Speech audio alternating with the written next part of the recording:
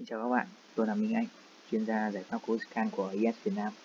Trong video này tôi sẽ demo cho các bạn về hệ thống CoScan và cách mà CoScan sẽ số hóa nhà máy cho các cái nhà máy sản xuất bằng điện tử. Và có thể các bạn cũng đã có những cái nhìn tổng quan về CoScan như thế nào trong cái buổi hội thảo được tổ chức bởi IS CoScan trong lần trước về ờ, số hóa nhà máy. Nếu như mà các bạn hôm đó các bạn không tham gia hay ờ, chưa nắm biết được thì các bạn có thể xem lại cái video về buổi hội thảo đó trong cái ờ, link YouTube được uh, gửi. Và ok, đi uh, đi vào phần chính thì đó chính là phần demo cho CoScan. Do là demo cho nên tôi sẽ trình bày cách ngắn gọn các tính năng chính của hệ thống CoScan. Đầu tiên thì chính là về cái giao diện CoScan. Thì um, CoScan sẽ sử dụng cái giao diện uh, kết hợp với ứng dụng web, giao diện ứng dụng kết hợp với cả website nữa thì đầu tiên về ờ, ứng dụng sẽ có tên là CoScan ờ, Operator Interface hay gọi tắt là COI và giao diện này sẽ ờ, mô hình hóa cái dây chuyền sản xuất cũng như là các cái nghiệp vụ tương tác với dây chuyền. Thì ở đây các bạn có thể thấy chúng ta có chính giữa đây chính là cái giao diện của, có thể là của nhà máy. Các bạn có thể setup thêm các cái dây chuyền vào đây, thêm những cái dây chuyền hoặc là một cái giao diện có một dây chuyền cũng được. Đó là tùy thuộc cách cấu hình và cấu hình như nào thì chúng ta sẽ cấu hình trên web. Lát nữa tôi sẽ nói à, sau. Và ở đây thì các bạn có thể thấy là chúng ta sẽ có ba cái dây chuyền. À, trên nhà máy như tôi đã thiết lập sẵn. Và uh, từng cái ô vuông này chính là đại diện những cái các cái máy. Máy trên dây chuyền NMT thì về cơ bản sẽ có các máy in máy SPI máy uh, mount à, chính là máy pick and place hay máy reflow máy MAOI cao hơn thì chúng ta có thể có hai máy mount hay uh, kế máy kiểm tra cũng như là nhiều máy mau hơn. Cầm dây chuyền dài này cũng đều hiển thị ở đây. Và các thông tin các cái work order cũng đều được hiển thị ở đây. Trạng thái running hay trạng thái ờ, uh, dừng của máy đều được hiển thị trên này. Đồng ờ, cùng với cả cái lệnh sản xuất hay uh, mã sản phẩm. Thì dưới này chính là một cái phần uh, thông báo chính là thông báo các lỗi liên quan đến cái dây chuyền. Dây chuyền nào lỗi sẽ báo đỏ ở đây hay, hay lỗi ở máy sẽ báo đỏ ở đây. Ví dụ ở đây chính là việc uh, bảo trì trên thiết bị chẳng hạn bảo trì trên uh, máy thì có thể là chúng ta sẽ bảo trì cái uh, solar page stencil khi mà đã đạt giới hạn. Đó thì lát nữa chúng ta sẽ đi sâu sau. Và ở phần cột bên trái này chính là danh sách các cái task của code scan tức là các cái task mà chúng ta sẽ tương tác với dây chuyền. Nó có rất nhiều ở đây chúng ta có thể cờ, tùy chỉnh câu hình. Giao diện này sẽ là tùy chỉnh câu hình đó thì như đây có thể là item management chính là cái việc chúng ta sẽ à, quản lý cái nguyên vật liệu trong nhà máy chúng ta. Thì chúng ta cũng có thể thấy là sẽ gồm có cả cái uh, item type là sản phẩm này uh, reel này có cuộn reel hay các cái soda page stencil hay máy đều hiển thị ở đây hết các cái task khác nhau ví dụ như uh, lốt máy hay lốt vật liệu lốt máy này uh, release sản phẩm vân vân. Và các cái task này thì các bạn có thể cấu hình được ở đây. Ví dụ thì không số khác ví dụ như equipment maintain thì chúng ta nói vừa nãy thì có thể sẽ có phần uh, bảo trì thông tin bảo trì đây để chúng ta có thể nắm được uh, các cái uh, vật liệu hay các cái công cụ hỗ trợ sản xuất cần bảo trì các cái task này thì chúng ta cũng để cấu hình có thể cấu hình được. Và cấu hình thì chúng ta sẽ uh, vào web để cấu hình. Chúng ta sẽ truy cập cái đường dẫn để cấu hình như là sẽ phải uh, đăng nhập đăng nhập tài khoản để khi đăng nhập chúng ta sẽ có một cái giao diện cấu hình như thế này. Ờ, ở đây chúng ta sẽ có phần ờ, quản lý vật liệu hay cấu hình cho nhà máy, cấu hình cho ứng dụng hay cấu hình cho các cái client PC client PC này nó chính là cái ờ, giao diện này. Trong ra chúng ta sẽ cấu hình các cái giao diện này. Cũng như là các cái setup của hệ thống như là có cả báo cáo nữa. Báo cáo chúng ta sẽ ở đây tí nữa sẽ nói sau. Về phần cấu hình này chúng ta sẽ có à, việc à, quản lý vật liệu như là quản lý về sản phẩm quản lý về sản phẩm trong nhà máy hay à, các cái linh kiện cũng như là các cái vật tư tiêu hao. Về cấu hình nhà máy thì chúng ta sẽ có cấu hình một cái loại máy máy ví dụ máy AOI máy printer máy reflow vân vân.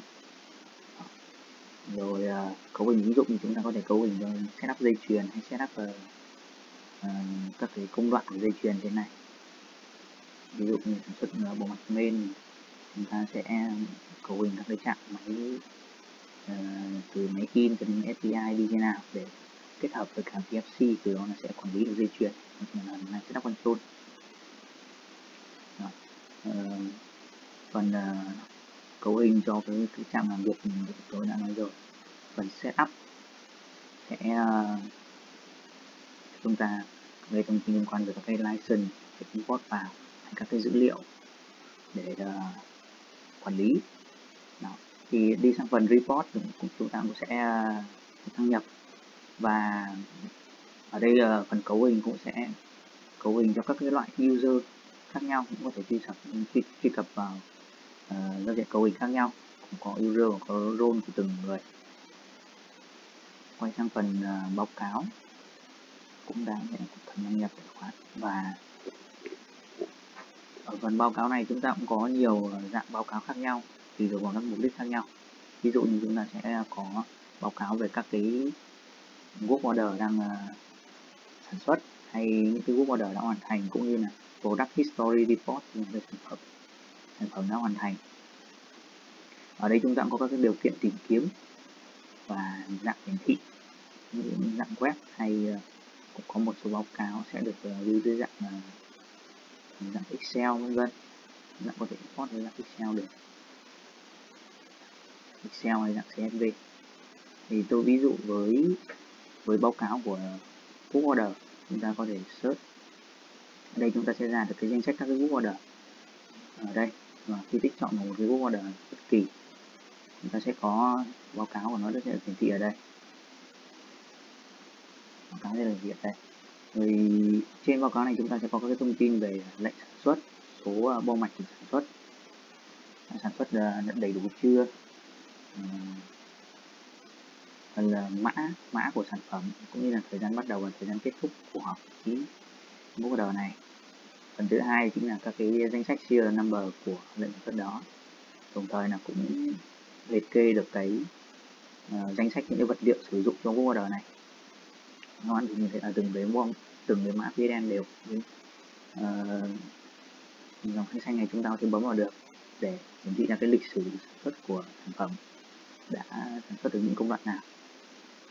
Và sử dụng những cái uh, linh kiện nào hay stencil nào vân vân.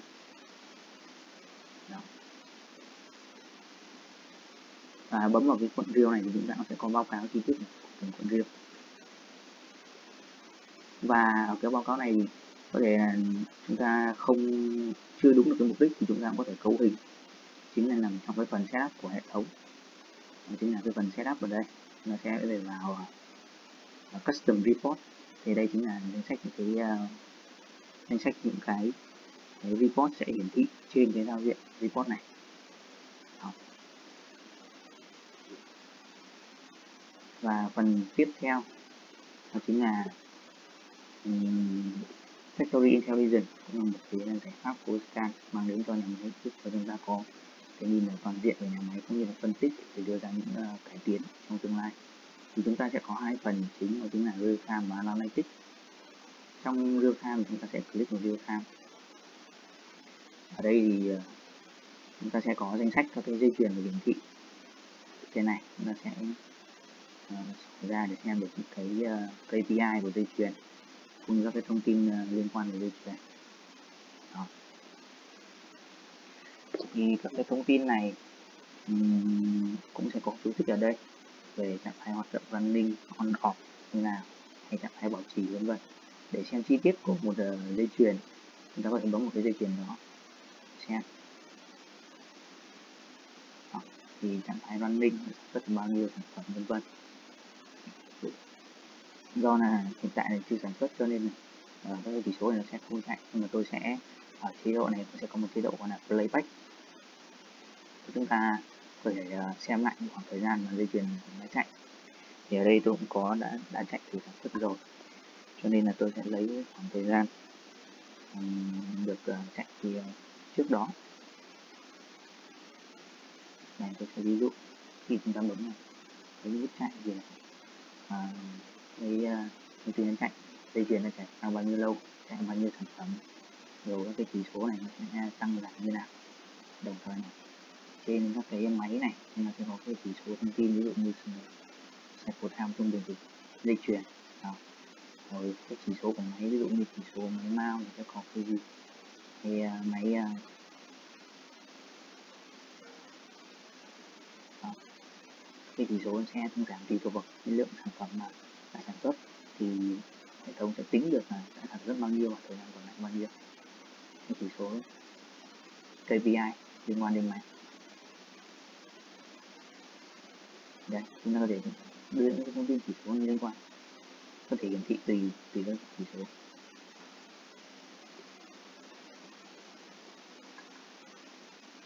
Và đó là uh, toàn bộ các cái tính năng mà chúng tôi mà tôi có thể demo cho các bạn trong cái à, phần này phần này nếu các bạn có bất kỳ có thắc mắc nào thì có thể ghi lại cho chúng tôi để à, chúng ta có thể uh, trao đổi thêm có thể tổ chức họp hay chúng tôi sẽ ra những cái video để phân tích chuyên sâu hơn về hệ thống Fusca nếu như các bạn mong muốn tìm hiểu.